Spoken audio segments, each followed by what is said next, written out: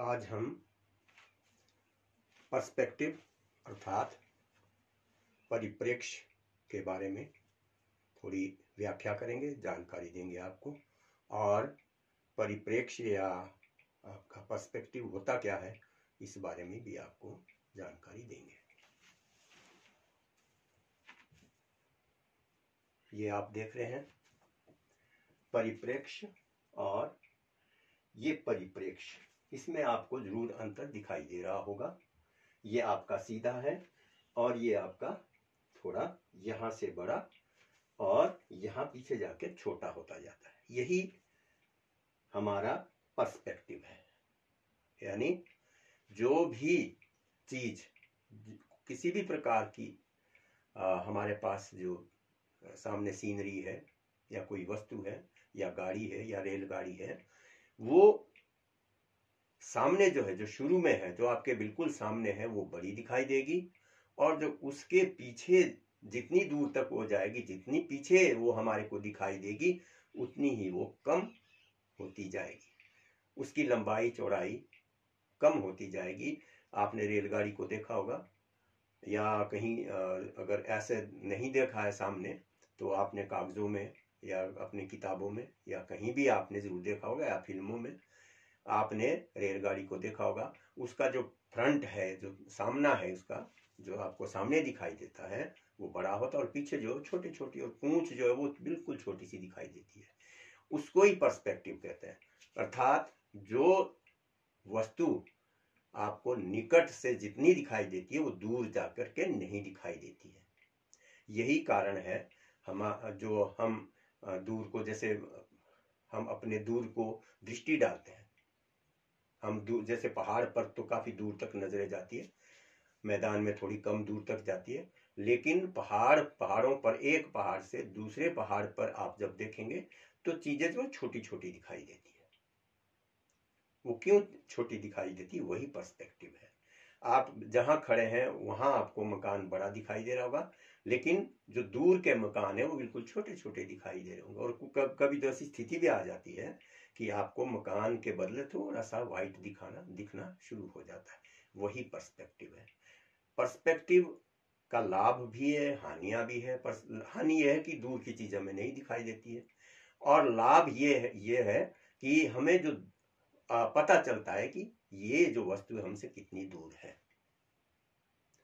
इसी पर्सपेक्टिव को लेकर के हम आज आपको थोड़ी सी ड्राइंग या आपको उसकी व्याख्या या विश्लेषण या आपको उसको ड्राइंग में दिखाने की कोशिश करेंगे। देखिए।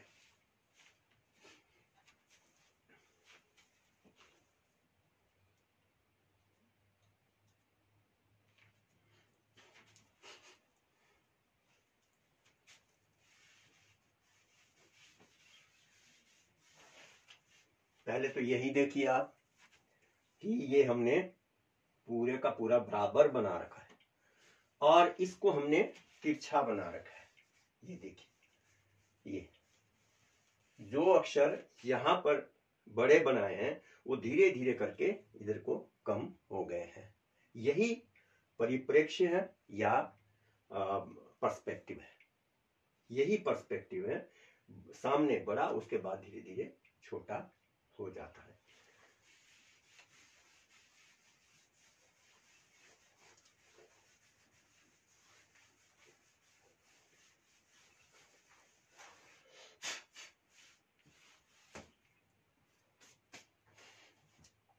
अब अगर हम बस की बात करते हैं, अगर बस, जब आपने बस देखी होगी तो अगर आप फ्रंट में उसके सामने उसके खड़े हैं तो पीछे को जो छोटी छोटी दिखाई देती है। जैसे कि हम बस की अगर हम बात करते हैं तो ये हमारी, मान लो बस बन रही है, ये इस तरह से जो है हमारी, ये ये बस के ऊपर का जो है ना देखो ये छोटा हो गया ना पीछे इसी तरह से छोटा होके यहाँ हमारे को जो है वो बड़ा, बड़ी वो दिखाई देगी। ये ये हमारे को बड़ा दिखाई देगा। ये। इधर को भी थोड़ा छोटा दिखाई देगा। अगर हम यहाँ खड़े हैं तो इधर को भी छोटा दिखाई देगा। ये। ये जितने भी कला से संबंधित मित्र हैं और अभी वो ज़्यादा बड़े नहीं हुए यानी अभी कला के क्षेत्र में आए हैं। तो उनके लिए भी एक जानकारी है कि हम किस तरह से जो है वो, ये देखिए, ये हमने थोड़ा बड़ा बना दिया, ये थोड़ी छोटी। ये भी थोड़ा हमने इसको आगे से बड़ा और जितना इधर को जाएगा, उतना हम छोटा दिखाएँगे। ये हमारी, चलो यहाँ नहीं लाइट है तो यहाँ होगी। ये, मान लो ये लाइट होगी अब हम पीछे को ले जाते हैं। तो पीछे को भी क्या होगा कि हम इसको, ये अगर इस तरह से हम इसको थोड़ा बाहर निकाल के, ये और, क्योंकि ये, अब ये यहाँ बड़ा हो गया और यहाँ पर ये छोटा हो गया। यही पर्सपेक्टिव है। अब यहाँ हम ये खिड़कियाँ या शीशे जो है, वो बना लेते हैं। ये, पीछे को हमने छोटा बना दिया। यहाँ पर अब इसको हम थोड़ा सा ये भी पीछे छोटा हो जाएगा। यहाँ ये है। ये अंदर का हिस्सा जो है हमने देख लिया है। जिसके ऊपर सामान रखते ना, बस के ऊपर, वो हमने पीछे को बना दिया। ये हमारी लाइटें हो गई। ये बड़ी, ये छोटी हो जाएगी। और ये शीशे आगे। यहाँ पर भी ये जो है, थोड़ा सा बड़ा होगा और ये ये वाला शीशा थोड़ा छोटा होगा। ये शीशा थोड़ा छोटा होगा और पीछे को, अब देखिए, ये यहाँ पर हमारा दरवाज़ा होगा, फिर ये शीशे, और ये भी छोटे छोटे होते जाएँगे।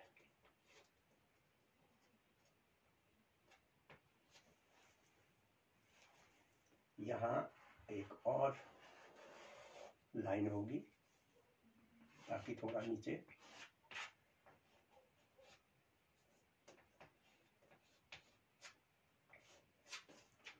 और यहाँ पहिए यहाँ पहिया होगा। और यहाँ छोटा पहिया होगा। थोड़ा यहाँ आगे होगा मेरे घर में।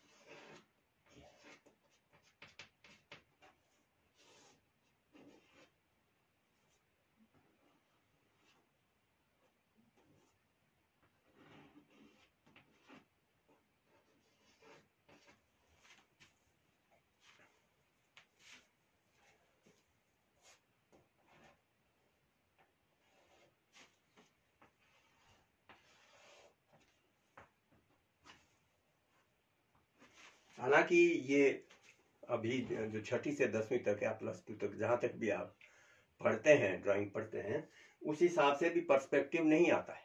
पर्सपेक्टिव शायद आगे कहीं जहाँ ट्रेनिंग वगैरह होती है या कोई आ, कोई उससे आगे निकलता है कोई ड्राइंग में कोई अच्छी अचीवमेंट करता है कला में या लेक्चरर बनने के लिए क्वालिफाई करता है तो उसमें इसको जो है वो लिया जाता है। उसमें क्या कहते हैं, स्कूलों में नहीं है ये।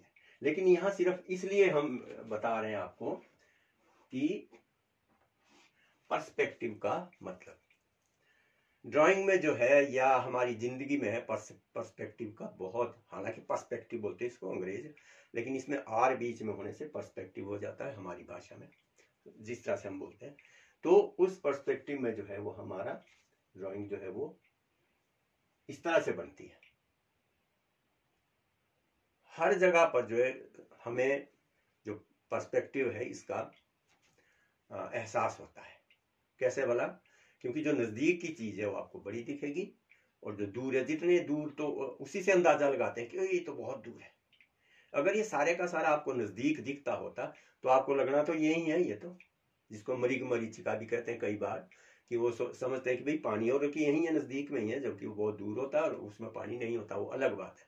लेकिन फिर भी हमें मरिग मरीचिका होनी थी, यानी जो हम अंदाज़ा लगाते हैं कि लगभग इतना दूर है भाई, सीधे में। या ऐसे भी जितना कम आपको, जितना छोटा आपको दिखाई देगा, इसका मतलब है उतना ही दूर वो जगह है।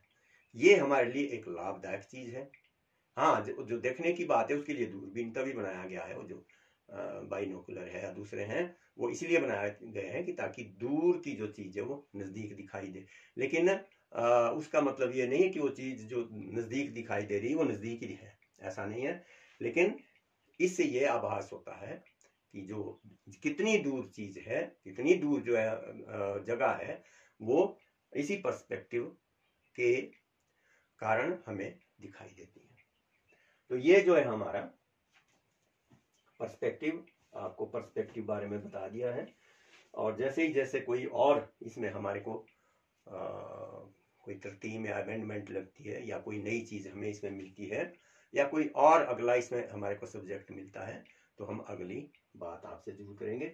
फ़िलहाल जो है आपका ये पर्सपेक्टिव हमारा बस का हमने बनाया। ये हमारा अगर हम इसकी जो फिनिशिंग अगर हम करते हैं, वो तो फिर ड्राइंग हो जाएगी। लेकिन हम जो इसको सिर्फ़ अभी आपको पर्सपेक्टिव के बारे में बताने के लिए ही इसको हमने बनाया है। ड्राइंग के लिए नहीं बनाया है। ये अभी हमने ड्राइंग के लिए नहीं बनाया है। ये सिर्फ़ हमने दिखाने के लिए आपको पर्सपेक्टिव का अर्थ समझाने के लिए किया है। हालाँकि इसी में अगर हम बात करें तो कुछ पर्सपेक्टिव और बाकी एक थ्री डी जिसको कहते हैं थ्री डायमेंशनल जो है हमें दिखाई देता है।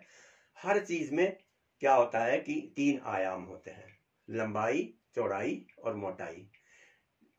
इसमें भी हमारे तीनों आयाम हैं। ये आपकी लंबाई, ये चौड़ाई, ये मोटाई, ऊंचाई या मोटाई जो भी है। इधर को मोटाई ले सकते हैं, इधर को ऊंचाई। तीन चीज़ें तो हमारे को चाहिए, होती ही होती है तीन चीज़ें तो।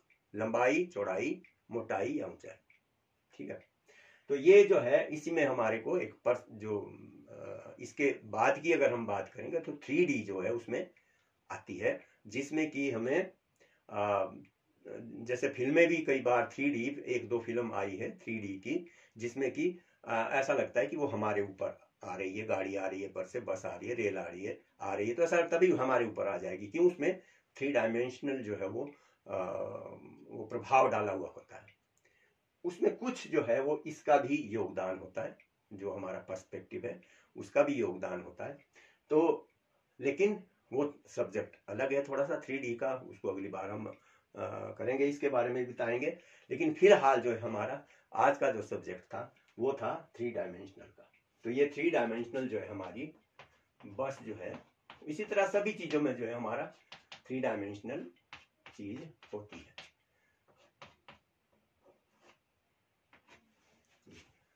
हालाँकि अगर हम इसको ठीक वो करते हैं तो इसमें ड्राइंग के लिए तो अलग से ही जो है वो बनती है। उसके लिए ये क्योंकि आगे थोड़ा सा अगर ड्राइंग बनाते हैं तो वो तो और तरीके से बनेगी। ये तो सिर्फ़ हमने डायम उसके लिए थ्री के लिए ही आप लोगों को स्पष्ट करने के लिए बनाया है। बस तो यहाँ ये फिर ये भी बनना है। आगे होता है। जो रोकता है, ये लाइटें हैं। और भी इसमें छोटी मोटी लाइटें, कुछ ना कुछ तो होता ही है। ये, इस तरह से।